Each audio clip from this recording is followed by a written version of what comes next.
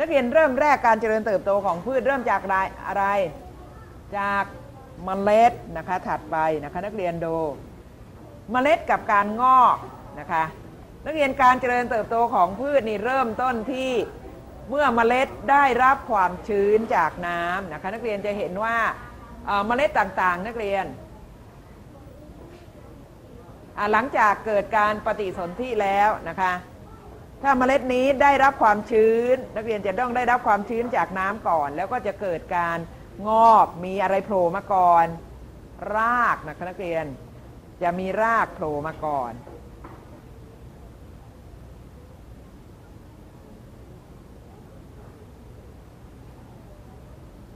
เพราะฉะนั้นน้ำนี่ก็จะเป็นปัจจัยสำคัญในการงอกของเมล็ด แล้วก็การเจริญเติบโตของพืชนะคะ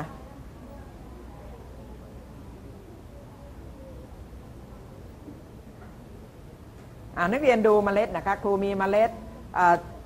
ที่เอามาจากนักเรียนดูเมล็ดถั่วดำเมล็ดถั่วดำอันนี้กลุ่มนี้เป็นกลุ่มที่ยังไม่ได้แช่น้ำนะคะนักเรียนดู จะมีรูรอยแผลเป็นอยู่นะคะนักเรียน นักเรียนดูลักษณะอันนี้คือเมล็ดที่แช่น้ำไว้หนึ่งวันนะคะ อันนี้วันที่สองนักเรียนดูอะไรโผล่มาแล้ว รากนะคะนักเรียนรากจะโผล่มาก่อนนะคะ ถ้าแช่ทิ้งเอาไว้นักเรียนดูจะมีรากโผล่มาก่อนนะคะนักเรียนดูอันนี้ยังไม่ได้แช่น้ำนะคะนักเรียนถ้าไม่แช่น้ำมันก็จะอยู่อย่างนี้นะคะ พอได้รับความชื้นรากก็จะโผล่มาก่อนโผล่มาก่อนนะคะอ้าวรู้แล้วทีนี้ถัดไปเราไปดู น้ำเพราะฉะนั้นน้ำนี่จึงเป็นปัจจัยสำคัญในการงอกของเมล็ดนะคะแล้วก็การเจริญเติบโตของพืชนะคะ เพราะฉะนั้นนักเรียนถ้าเราจะเพาะพืชชนิดใดเราต้องอะไรก่อน แช่น้ำก่อนนะคะ แช่น้ำนะคะถัดไปนะคะนักเรียนเราไปดูว่าน้ำจึงเป็นปัจจัยสำคัญในการงอกของเมล็ดนะคะ ถ้ามีน้ำนักเรียนเมล็ดพวกนี้ก็จะงอก เอ๊นักเรียนจะเห็นว่าน้ำเข้าไปในเมล็ดพืชได้ไง เมล็ดพืชนักเรียนก็จะมีรอยแผลเป็นอยู่นะคะ มันก็จะรากจะโผล่มาบริเวณนั้นนะคะ เดี๋ยวเราก็จะไปดูกัน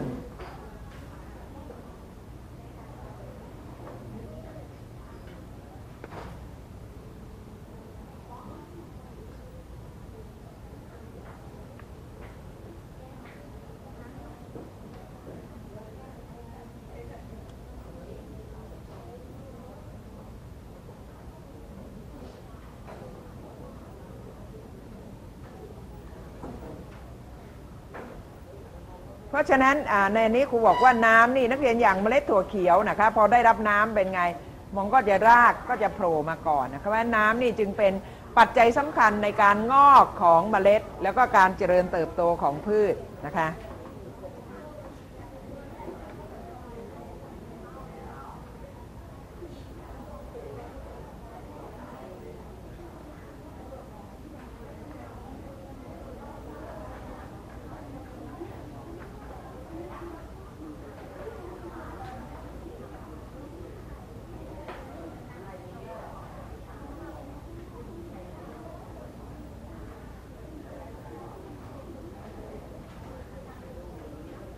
ถัดไปนะคะนักเรียนอันนี้เสร็จแล้วนะ เอาดูต่อเมล็ดนักเรียนดูเมล็ดนี่ก็คือส่วนที่เจริญมาจากโอวูนะคะโอวูหลังจากการปฏิสนธิระหว่างละอองเรนูกับเซลล์ไข่ของดอกไม้นะคะ เพราะฉะนั้นโอวูนี่เจริญเติบโตไปเป็นเมล็ดนะคะ นักเรียนดูจะมีรอยแผลเป็นอยู่นะคะ อันนี้เมล็ดถั่วเหลืองนะคะ อันนี้เมล็ดแตงนะคะนักเรียน เพราะฉะนั้นส่วนที่เจริญจากออวูนะคะ ก็คือเมล็ดหลังจากที่เกิดการปฏิสนธินะคะ เพราะฉะนั้นนักเรียนจะเห็นว่า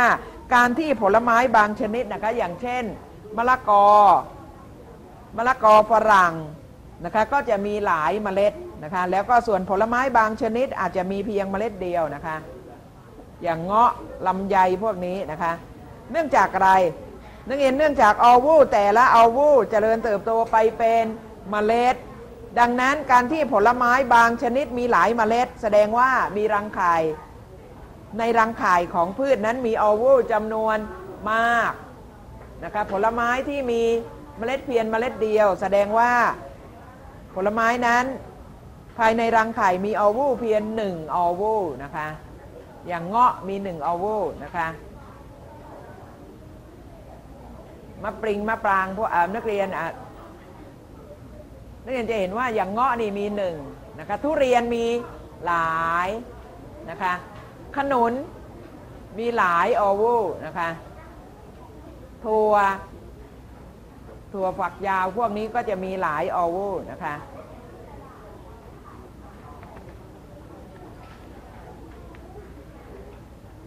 ทีนี้เราไปดูรูปร่างลักษณะภายนอกของเมล็ดนะคะ นักเรียนครูแจกเมล็ดให้นักเรียนแล้ว นักเรียนสังเกตดู สังเกตลักษณะภายนอกของเมล็ดนะคะ นักเรียนจะมีรูเล็กๆ อยู่ตรงนี้นะคะ เราเรียกว่า ตรงนี้นักเรียนจะมีรอยแผลเป็นนะคะไฮลัมเฮลัมนะคะ แล้วก็จะมีเปลือกคุ้มเมล็ดอยู่ อันนี้จะมีรูรูอันนี้เราเรียกว่ารูไมโครพายนะคะ รากนักเรียนการที่เราเอาเมล็ดไปแช่น้ำน้ำเข้าทางไหน เข้าทางรูไมโครพายนะคะ เห็นไหมนักเรียนเอาแว่นขยายส่องดูนะคะ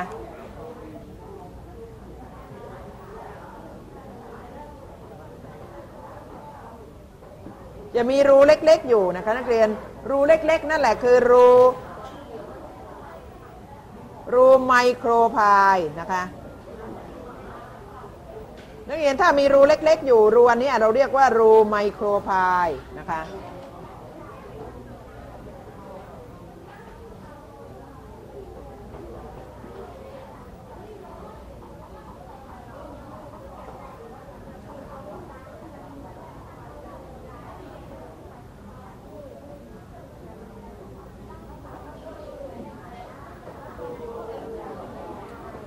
กเรียนถ้าเราผลไม้นะคะ ถั่วดำนี่ใบส่องดูนักเรียนจะเห็นว่าจะมีรูเล็กๆอยู่นะคะ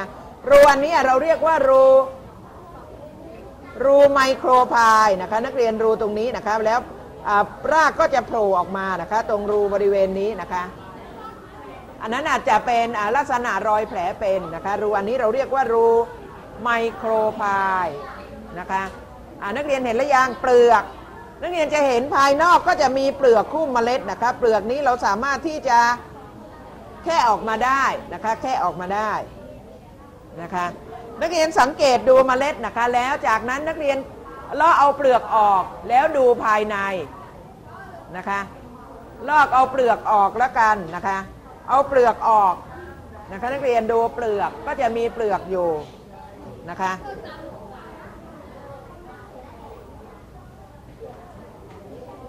เราเปลือกนี้ออกนะคะเปลือกออก แล้วก็ดูภายในของเมล็ดนะคะ ว่าประกอบด้วยอะไรบ้าง แล้วเอามาเรียงกันนะคะเสร็จแล้วเราไปดูรูปแสดงภายในนะคะ นักเรียนดูภายในนะคะ ภายในของเมล็ด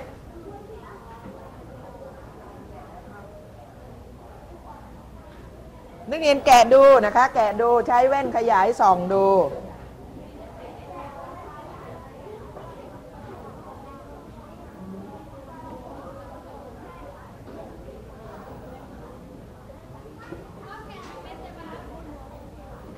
แกะเลยนะคะนักเรียน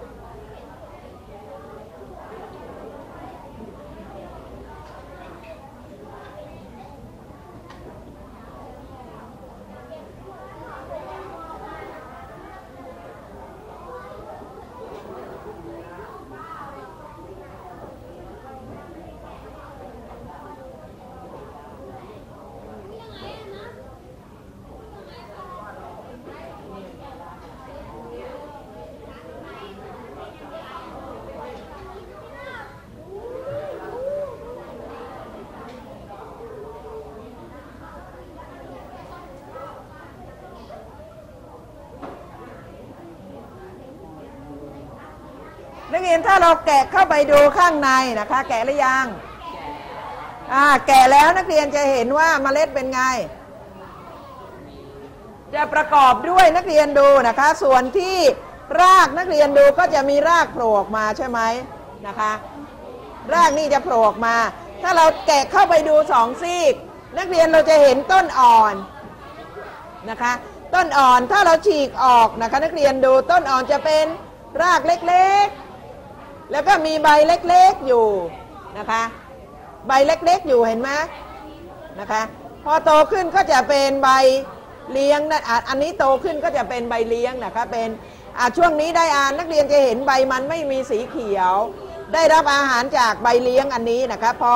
นักเรียนดูอันนี้อาจจะเป็นเล็กๆอยู่ข้างในนะคะ ที่ครูแกะออกมาเป็นอย่างนี้นะคะ นักเรียนดูแกะออกมานะคะเห็นไหม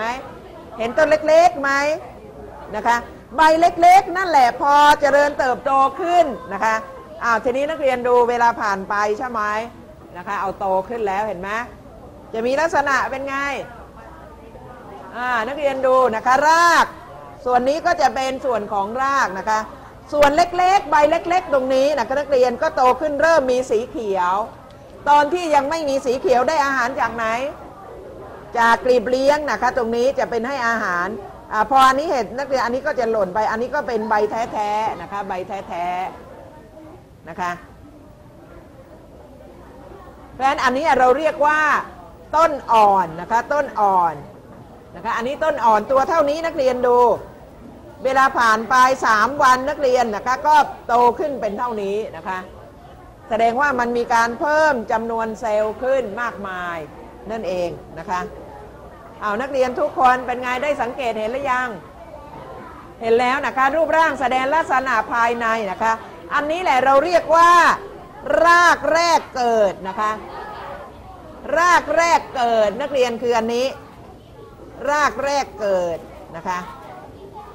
เล็กมากอันนี้คือรากแรกเกิด เกิดมานักเรียนดูก็จะโตขึ้นเป็นอันนี้นั่นเองนะคะ แล้วก็อันนี้ก็จะเป็น ใบเลี้ยงนะคะอันนี้เป็นต้นอ่อนเป็นต้นอ่อนนะคะอันนี้เป็นนักเรียนใบหนาๆเนี่ยเป็นใบเลี้ยงนะคะภายในก็จะเป็นเป็นอาหารเลี้ยงพวกนี้นั่นเองนะคะนักเรียนดูพอโตขึ้นใบอันนี้จะค่อยๆเล็กลงนะคะจะเล็กลงนะคะก็จะมีลักษณะค่อยๆเล็กลงนั่นเองนะคะนี่เห็นดูลักษณะที่โตขึ้นนะคะอ้าวเสร็จแล้วดูต่อนะคะ อ้าวดูอันนี้นักเรียนดู อันนี้ก็จะเป็นตัวที่ให้อาหารนั่นเองนะคะ นักเรียนดูนะคะ อันนี้เราเรียกว่าเอมบริโอต้นอ่อนนะคะต้นอ่อนนะคะ อันนี้นักเรียนคือต้นอ่อนนักเรียนดู เวลางอกเมล็ดจำไว้นะ ส่วนที่โผล่ออกมาก่อนเพื่อนคือ รากนะคะนักเรียนรากแรกเกิดไม่ใช่ใบนะ ไม่ใช่ใบไม่ใช่ลำต้น ตัวที่โผล่ออกมาก่อนเพื่อนคือรากนะคะตรงนี้นะ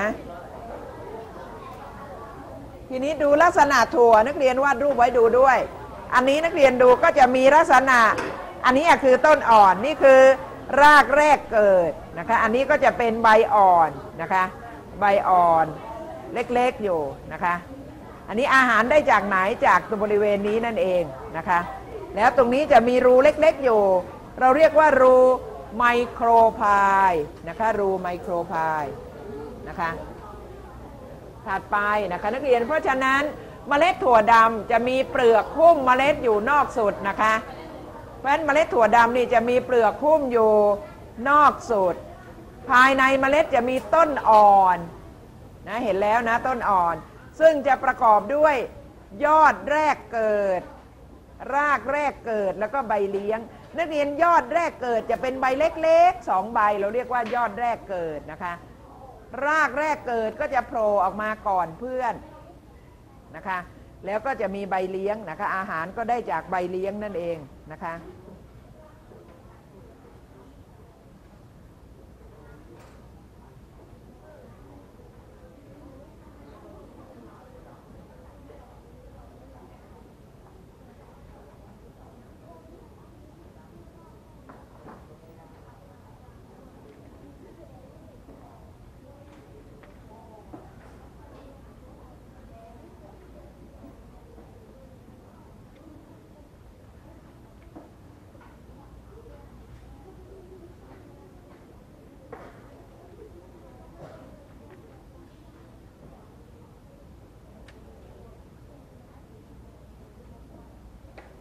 อันนี้เสร็จแล้วนะว่าเมล็ดถั่วดำนะคะจะมีเปลือกคุ้มเมล็ดอยู่นอกสุดนะคะ ภายในเมล็ดก็จะมีต้นอ่อน ซึ่งประกอบด้วย